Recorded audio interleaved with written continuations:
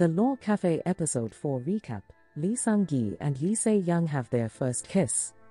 It seems that the feelings that have been buried under the dust of the couples. Time has a chance to sprout again. The more they accompany each other through the cases, the more they find sharing and comfort in each other. In episode 4 of The Law Cafe, Jeong Ho Lee Seung Gi and Yu Ri Lee Se Young face a new case of child abuse.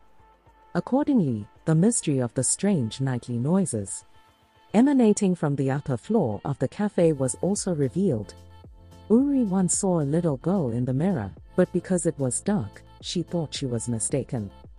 As it turned out, in a nearby apartment, there was a little girl named Sue R. who was regularly abused by her mother, locked in the house all day. Every night, the girl climbs out of the window and goes to Yuri's building. Because she feels the cafe is very warm. Everyone is happy together.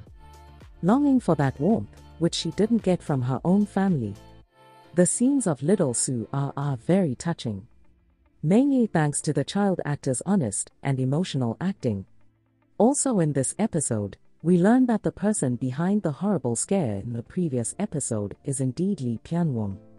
Pyonwon is an evil person, but also has a pitiful side when he is rejected by his biological father, he does not even allow him to call him father, nor does he acknowledge him as his son.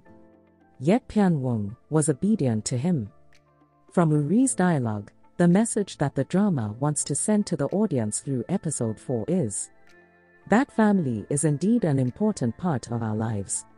But it's also only a part, not all of it. So, if you feel hurt or abused in your own family, dare to find a way out for yourself.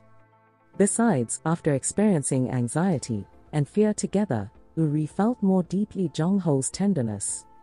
At the end of the episode, the two shared a light kiss, making the audience both surprised and excited. Through the fourth episode, it seems that the Law Cafe is gradually entering the key content section.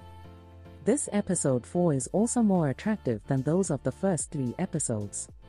The rating of this episode's drama increased slightly compared to episode 3, stopping at 6%.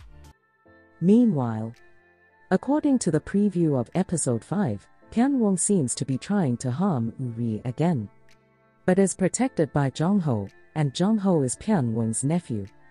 What will be the next developments of the film? Watch the next episode of The Law Cafe with me every Monday and Tuesday by subscribing to my channel and click on the notification bell to be the first to know when to upload another video.